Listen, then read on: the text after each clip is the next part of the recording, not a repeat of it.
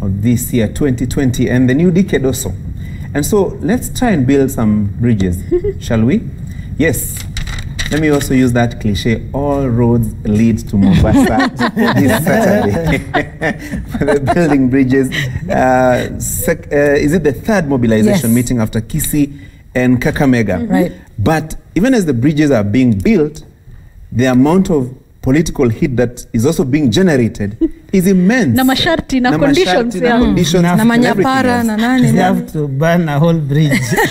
Absolutely. instead of building one. Uh, what I find interesting is the statements that are coming from the political class. Let's try and hear some of them.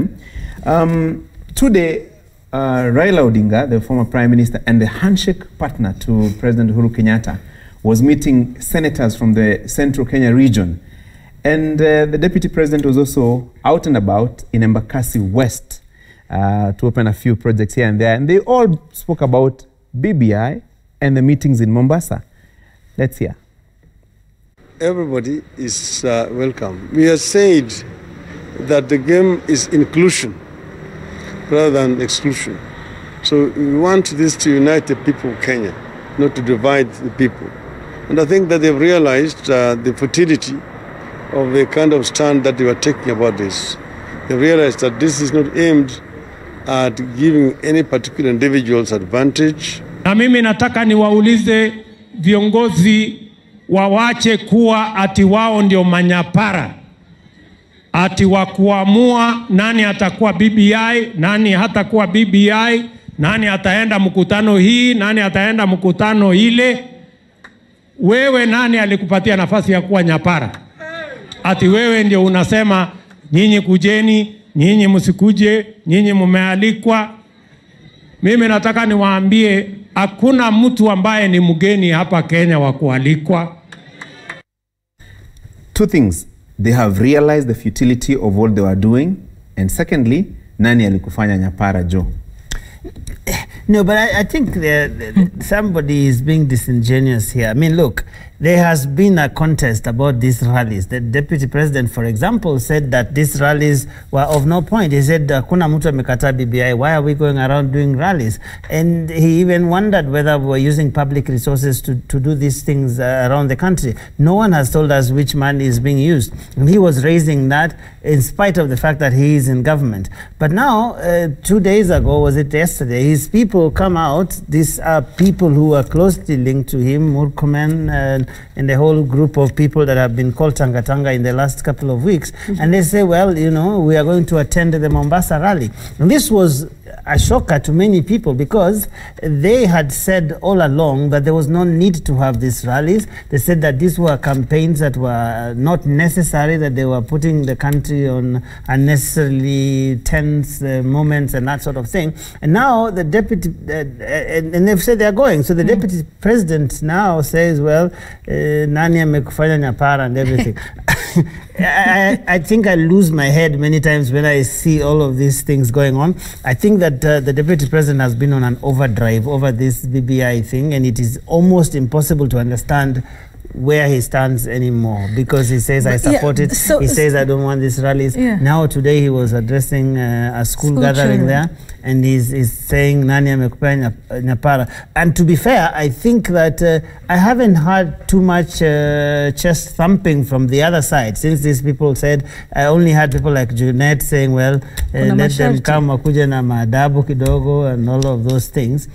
But, but honestly, it is all very childish what's going on about this BBI thing in my view. Yeah, and can I? What is this then? Um, because you mentioned uh, an interesting twist uh, from literally almost delegitimizing uh, these these rallies and what they're doing, talking about how they're spending public funds, to now saying, okay, we will attend. What is this? Is it a change of tack? Is it a retreat? Is it surrender? I mean, I, I'm not sure I understand what what the gameplay is. Huwezi here. pigana na serikali Here's here's my take, uh, Yvonne. The first hope press your conference, and maybe we can have Yeah. a look I hope Oh, you credit Yeah, yeah. with, with, with all the copyrights to to, the, to Yvonne's take. I- I think the original uh, press conference was by Senator Murkomen, Mm. Kipchumba Murkomen. And maybe we have that bite. We'll listen to that and then uh, Yeah. I'll give you my take. Okay. Yvonne's take from my end. Okay. okay. Uh, and they're wonderful meetings. We, we, reasoned, uh, we reasoned and asked ourselves would we rather sit and watch misinformation and discussion out there that is about positions and about power, yet we can have that opportunity to share things to do with the economy, things to do with unemployment, things to do with social justice and security. What we want to tell our colleagues is that one, they should come in a very good mood.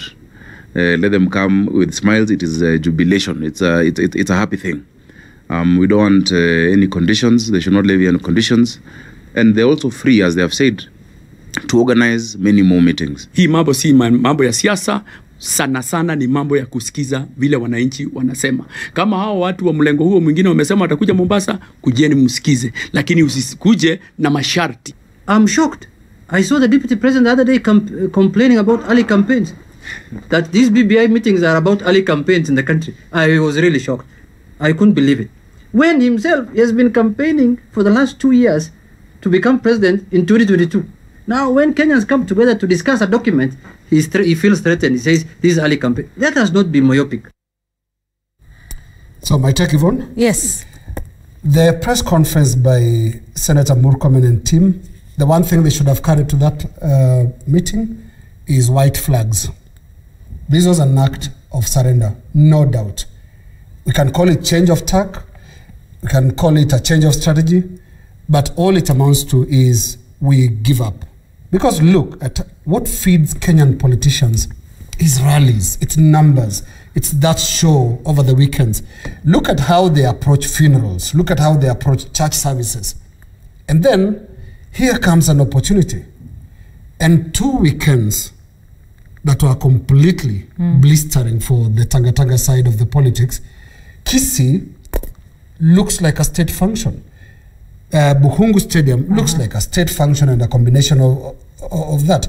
Very highly energized uh, event, perhaps only comparable to uh, rainbow rallies in 2002. This was not sustainable for the deputy president. This was not sustainable for Tanga Tanga. This was not sustainable for those opposed to uh, BBI. They were going, they were sunk in two weeks basically. Because uh, I think I remember the second weekend, is it um, uh, when BBI was in uh, Kakamega? Kakamega. Uh-huh. The deputy president was in a funeral. Right. With uh, Kalonzo with, Musyoka, with Kalonzo, Wiper leader. Kal- Kalonzo Musyoka. Right. Look at how quickly the entourage can be depleted. Because in Bukhungu, you had all these faces. You had governors, you had uh, a lot of politicians. For Kenyan politicians, and by the way, they it's a bed they made, so they must lie on it. They like this show of who else accompanies you.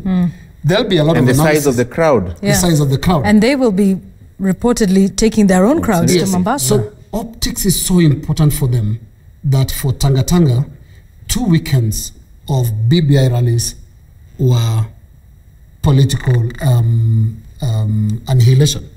And, and considering the fact that already uh, the host uh, Governor Ali Hassan Joho has said wakuje lakini wakuja na adabu wanakuja county 001 and What today does that mean, they were though? they were touring. I don't know. We, we, I think itakuwa Of course, sinema bila the other tikiti side is feeling Right. uh, like I mean, like it- na adabu, meaning... na adabu yeah na yeah na na, na. Actually, some of them have been saying like wajue mkutano ulikuwa umepangwa so yes, so there's a way that it had been arranged. so what, what, what, wasikuje um, tu. uh, uh, wasikuje tu wakuje mkutano ulikuwa umeshapangwa. It's like uh, tulikuwa tusha agree tutapikia watu saba. Yeah. sasa nyinyi mmekuja na mwenye ataongea ni so and so. tuko tumewatarajia. Wow.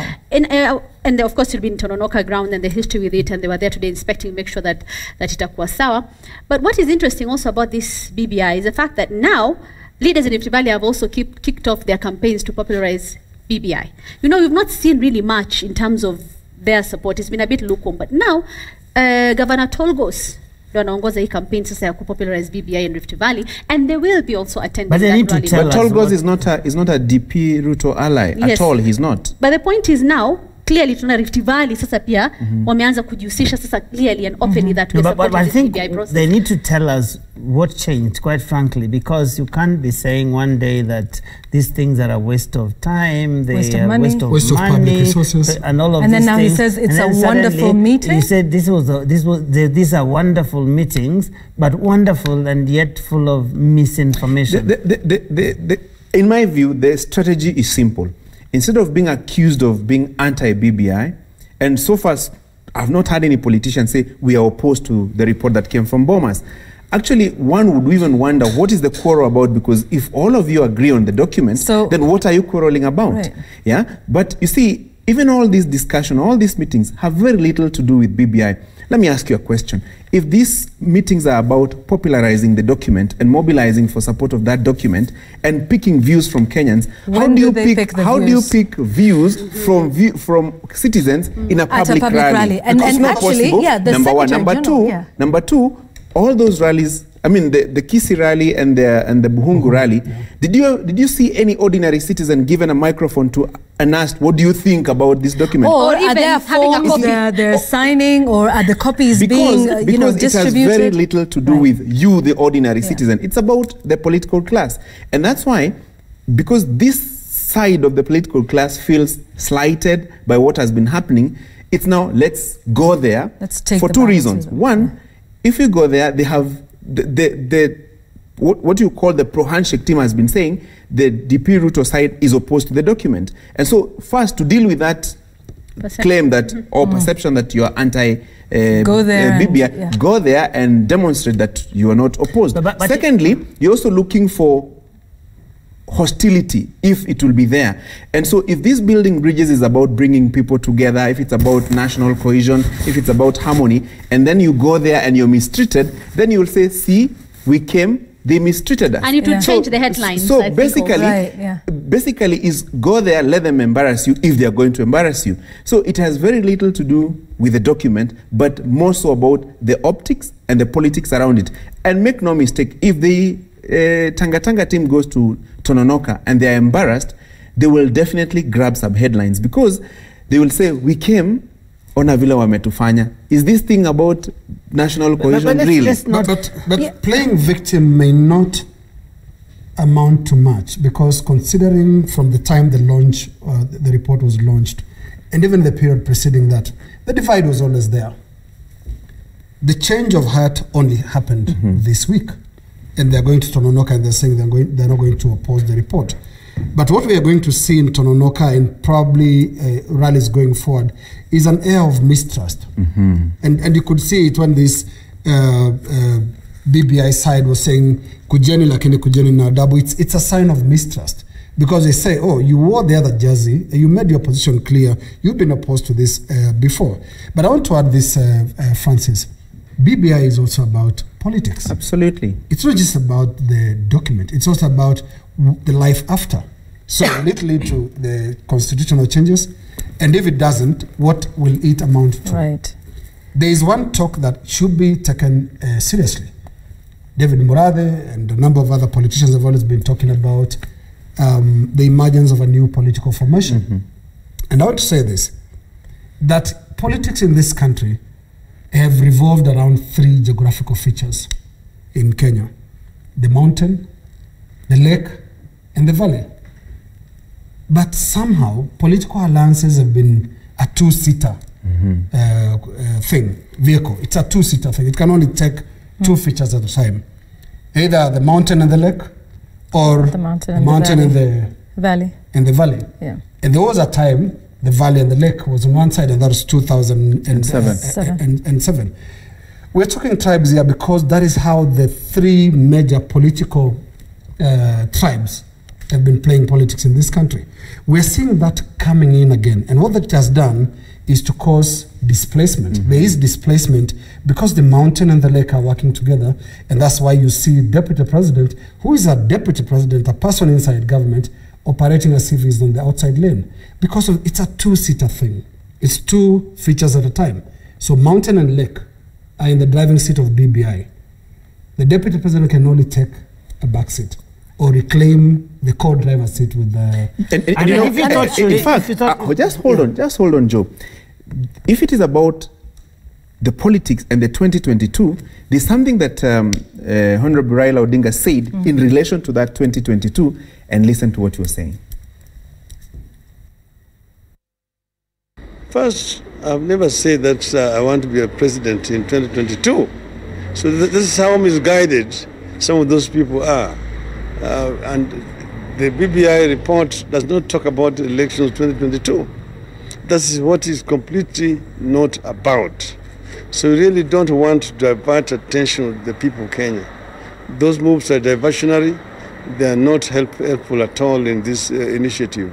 And therefore, I would uh, invite our people to completely ignore people who are completely misguided. In Mombasa, the president told us, hiyo vitu ni nyinyi mnaandika.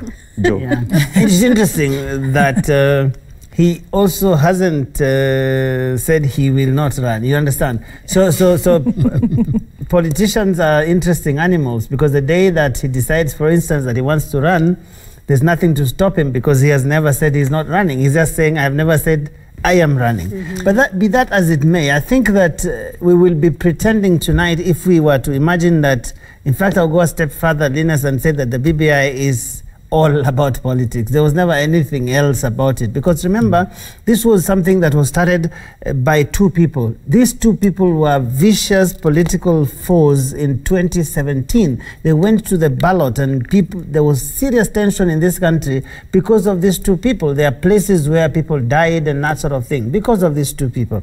And suddenly they come up and say, hey, you know what? Uh, we have realized that Kenya is actually bigger than the two of us. That's an interesting realization to make after those many years of being alive. But be that as it may, this, this, this, they start a process that now we are talking about and imagining it is anything other than a political process. It is a political process. If you look at all the issues, the nine issues that were pointed out there, they are as political as can be. Mm-hmm. Why? Because this country revolves around politics, whether we like it or not. And mm. therefore, we are going to continue seeing politics. These rallies that are going on around the country, there's no way BBI was just going to be a report has been launched, mm. and then some people sit somewhere quietly and give us a document, and then we quietly go into the ballot or whatever we do, and then we pass it. It was going to set the stage for what's going to happen in the days to come. And finally, there's something called manufacturing uh, consent. This is something that uh, uh, scholars like to talk about. And the idea about this, in my view, is that because there's going to still going to be some kind of going around the country. I mean, the steering committee has said they'll go to all the eight regions of the country. By the time they go there, if there are any citizens who are going to go there to talk to them, which language are they going to be speaking? They'll be speaking the language of Kisii, they'll be speaking the language of Bukhungu, they'll be speaking the language of Tononoka and whatever. And that is what this is going to be about. There's no views being collected um, at those rallies, but there is a message that is going out from those rallies that is going to begin to affect how people think. Speaking about no views being collected, Joe, uh, we spoke about this last week. The fact that the people who attend those rallies don't even have copies of that BBI Yep. report. So, hata wajui what Yep. is what is being discussed, other than what they're being told, is contained in the report. And What there's- I found and yet interesting, and their declarations. declarations. And what I found interesting was, I'm trying to remember exactly where it was, but sometime this week, in some, I think in Nyanza, there were some leaders who were distributing copies of the BBI report.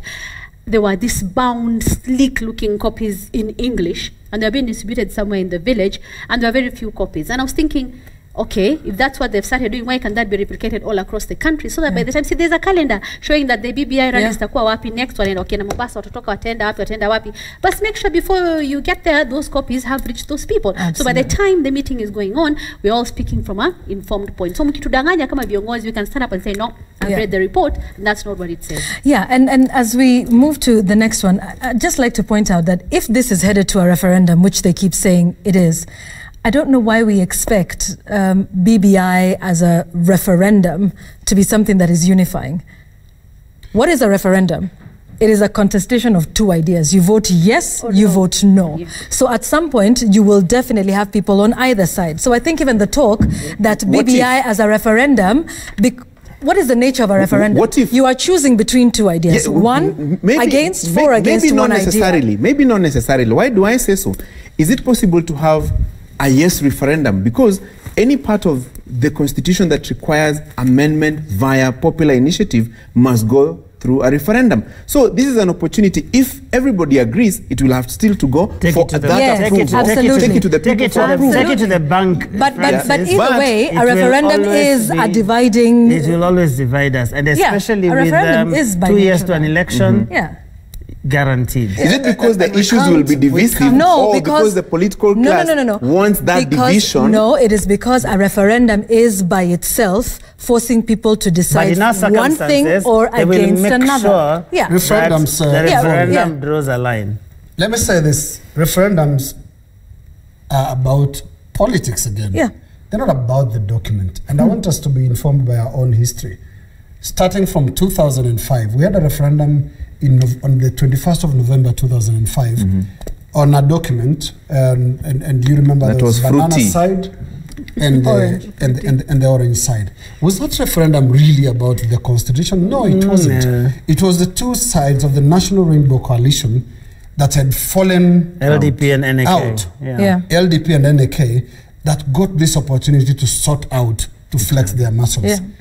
Ideally, what is supposed to be happening right now here is the fallout between URP and TNA or whatever remained of it that informed the formation of Jubilee that should be taking us to the to the referendum uh, f- for a contest. Referendums are used to settle political questions. Absolutely. They're not about Yeah. uh, very, very uh, uh, um, detailed things. They, they're just about basic political Yeah. questions. Which side do you uh, Yeah. support? But at and what finally, To the, cost? to the issue of um, Who cares? of, Yeah. what it, they certainly don't. of what it, it would result in. Now, processes like BBIs have always ended up in some political formation or the other. Mm. The National Rainbow Coalition really was made up of groups or two groups that felt after Kanu, Yeah. what we need to do is to change the constitution. That's what brought LDP and NAK uh, to, together. Mm-hmm. Together, yeah. You, you, you move on to uh, the, the 2005 referendum. What did it produce? It produced the Orange Democratic Movement. Right. Who Na are hiyo members, itakuwa chama. in- members included that, yeah. uh, Uhuru Kenyatta, Raila Odinga, and, uh, and William Ruto. They were all part of the ODM. That was a political formation. BBI, my own projection is, will lead into the formation of a new All right. Na itakuwa chama. and they I, I want us and to move. Yes, they I, I would really in like us to Kibra. move. Yes, because if we're talking about a, a contestation of ideas or a splitting right down the middle, well, that's exactly what happened um, at what is the ivory tower of knowledge, but it looks like it's the Tower of Babel. I mean, in a week, in such a short span of time, so much happened at the University of Nairobi. Someone is appointed, then he's unappointed or disappointed. You name it, but disappointed disappointed. Yes, disappointed. it does work in this case. Um, and so, what are we talking about? I mean, you know, Professor Kiama. By the way, that case will now be heard and determined tomorrow. But even today, Professor Kiama was addressing students um, now being termed the embattled. But this is where it all began. It all began with Cabinet Secretary for Education, Professor George Magoha, and he turned the tables on what was supposed to be a glorious week an inauguration installation that was coming up. Let's listen to Professor Magoha on why he will not or did not um, uh, appoint uh, Professor Kiama. I cannot and shall not appoint anybody without consultation. Is that clear to everybody? So all you are hearing is hot air and politics. And I'm not beholden to anybody because I will take orders from my appointing authority. That is precisely what is happening. It is very unfortunate that it's happening because somebody some, somewhere is pulling strings that wants to destroy the university. Because as I don't, I am taken aback to see how people are posturing about issues which are not non-existent. But then again, um, you know, fights within academia, this is not the first time we're hearing about it, not at the University of Nairobi or indeed any other. And, and Joe, this is, these things happen. I mean, I know we think it's professors and this is not the sort of thing that we would be seeing happening, but there's history at the university. Yeah, yeah, but I think what has uh, bewildered me, quite frankly, with this is the, the degree of, of, of madness, quite frankly, that I think uh, we have seen over the last couple of days. I think that uh, if you look at, um, for example, uh, I, I was a bit shocked by Professor Kiama, the way he has handled the whole thing. I, I know that he feels aggrieved, that he was, uh, it's almost like if uh, someone who's going to swallow some food and then it's literally yanked out of your mouth.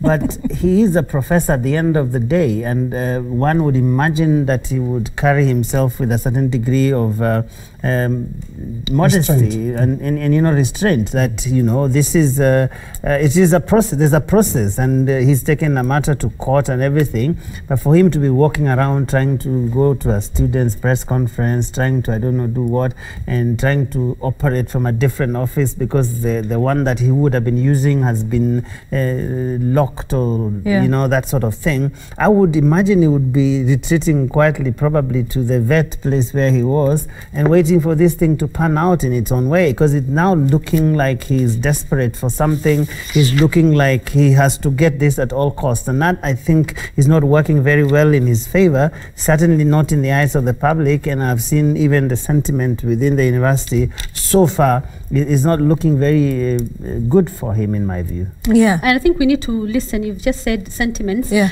Uh, Robert, can we listen to uh, the sound bites about uh, from Professor Kiama and also uh, those uh, stakeholders Mm. uh, in, in the university? And then we continue.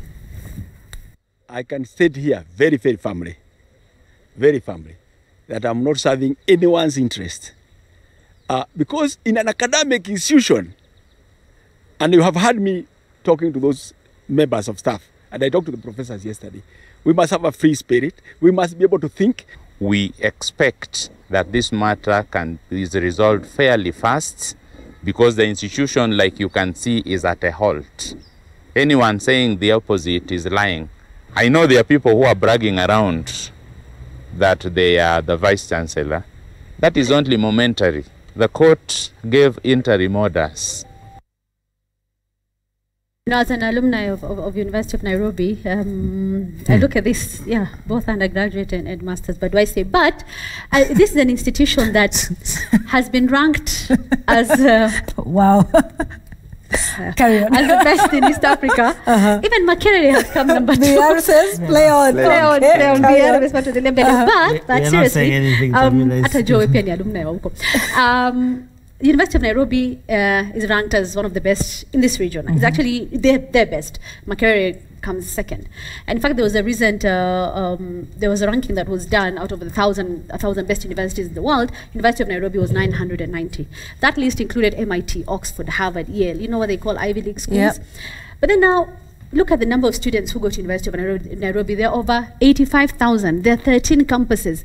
The amount of fees that these students pay is into hundreds of millions. Someone was saying about 700 million. And the amount of money that the university receives up to 22 billion. In Yeah. fact, it's even more than, Than what Nairobi County counties received. Last yeah. year, which was about 17 billion. Yeah. So this is a big institution with a lot of money involved and there are a lot of interests. And I think this thing needs to be resolved as soon as possible, not just for students, but also for the name of the University of Nairobi in terms of what it means. It is for is important to, to know or to tell our viewers where did this drama begin? Yep. Because what is the process of appointing a vice chancellor of a public university? You see, it's a process that involves the Public Service Commission that mm-hmm. does the interviews. It involves the university council, involves the uh, cabinet secretary in charge of education, Mhm. and even involves the president because there are consultations that must be done. Yeah, And that's only with the We have chancellor. some graphics here Yeah. showing the results of that um, Public Service Commission interview. Um, from uh, Stephen Kirogo, the chairman of the Public Service Commission, the indications are that the results were Professor Kiama was number one with 80% um, or thereabout, yes. And he was uh, the, the, top, the top four candidates. The top four candidates were clearly outlined.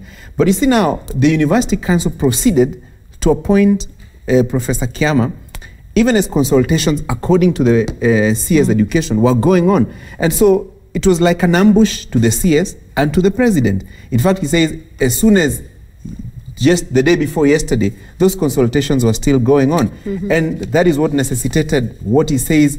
He took a step back and decided to act. How did he act? By chasing away the entire council Yeah. and uh, rescinding the appointment Yeah. of uh, Professor Kiama. So we are in a dilemma. We are in a very tricky situation because, on the other hand, what has the court done? It has granted Professor Kiama uh, an order stay as, as, the, as, as the vice chancellor. In fact, today he was meeting fi- first years Yeah. uh, as the vice chancellor, and that meeting was attended by several dons. So it tells you something. There is a lot of confusion, but more importantly, it's not about him Professor Kiama or Professor Mbeche, who is being appointed as acting vice chancellor by the CS, but also the forces behind them. Who is pushing who, why, where? And, and I just want to add something about the confusion when, uh, that you mentioned. Um, remember, the law in the beginning was that it was solely up to The council. Uh, the council. A- and these were informed by some of those changes. But even that regulation in itself still introduces ambiguities that the council is supposed to um, consult with the cabinet secretary. So it doesn't, what happens if they disagree? You know, Does- on does that, consultation does mean consultation mean concurrence? concurrence? Reminds and what happens, uh, you know, of grand grand coalition. coalition, Always right? consultation I meant mean, and, and even where you know th- there's academicians and that sort of thing, then we still see confusion over regulations like these, Linus. And that is a tragedy, Yeah. Yvonne. It, it is really a tragedy that uh, all processes must now be attended by some form of politics. Yeah. I- Or it's- legal it's, it's really right. sad. Yeah. What is safe in this country from politics? Which appointment can we do without politics? I still haven't forgotten the very public discussion about the appointment uh, or, or the succession of the late uh, Bob Collymore at Saf- Safaricom. It was a very political discussion. Yeah. Kenyans, I mean, th- this is sickening. But um, going to the point that uh, Joe had made earlier, you know, in 1981, uh, President Ronald Reagan was shot in an attempted assassination. And there was his Secretary of State who turned up at the White House, Alexander Haig, and uh, claimed to be in charge. He was looking sweaty and, and, and very ruffled. That is the image that came to my mind when I saw Professor Kiama uh, scrambling to take charge.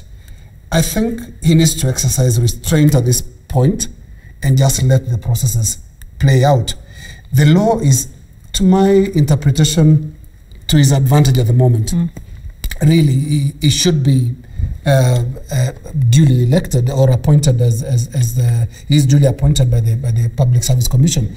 The, the, the bit that is that, that waits cl- awaits clarity is uh, a consultation. Yeah. So he, he needs to hold back uh, and, and probably preserve himself so that it doesn't look like a political process. Uh, you know, when he spoke of having a new base or some temporary base to run the, the university from, it reminded me of Governor Waititu claiming that uh, he, he's running the county from Yeah. from some office because he can't access his office. So th- there is a lot of self-preservation as well that needs to come in place. These are academicians. This is a university. It's not a political institution. Basically, um, some form of restraint is necessary. Yeah, and, and there were a number of issues. I mean, I think there's there's there's issues to do with structure, to do with governance, and let's not pretend that there's issues to do with money. It is high stakes. It is highly political. I mean, the University of Nairobi, even within the Students' Union, has always been infiltrated by our national politics, particularly the University of Nairobi. And there's a number of issues that go into, um, you know, what happens there uh, with the money and what is being earned. Uh, I mean, you know, there's the report of the visitation panel. This was actually done by the chancellor, um, and in it there was there were some interesting things that came out. For example, you know, VCs are allowed to go back into faculty once they uh, retire, but apparently they continue to keep the same salary as VC, even when they're serving now as a lecturer, and they continue to keep all the trappings of power. So that and just so many other things that were raised in this report that is here, um, and perhaps you know this could be part of what is fueling it there, but it is no doubt high stakes money, contracts, tender. Political influence is at the heart of this, as it has been, by the way, uh, with just about every appointment. I think in this point, uh, at this point, it just manifests itself in rather petty ways. Who is not allowed to access the office now that one has been uh, reinstated by the courts, at least temporarily? He sends the other one on leave. The other one says, you know, I'm not going anywhere. Changes you know, locks. Gate, changes locks, uh, gate crashing meetings. I mean, it really is downright petty with these ones. But there are serious uh, issues of governance. There are serious issues of accountability of funds um, that need to be addressed. And I think that's what's underlying all of this uh, seemingly petty politics. And, and that needs to be addressed at the University of Nairobi with the Yvonne, billions of 20 shillings they have. 22 billion Yeah. shillings is not small money. That's right. I mean, you're talking about the drama that you see That's in right. Nairobi County government, for example, with about 17 billion. So we are talking Imagine about that. Nairobi plus 3 billion more. There you go. You know, so you expect this kind of drama. And the, the vice chancellor is a very influential person. Why? Because this is the CEO of the university. His decisions, his directives are very, very serious. Uh, and, but at what point and, and very begin- consequential. At what point do we begin to see the difference between the University of Nairobi And the and the county of Nairobi? Oh, I mean, really, if, Right if- now. if right now, there is none. Okay. All right, I think uh, Okay, it's time to take it home, and our last words begin now.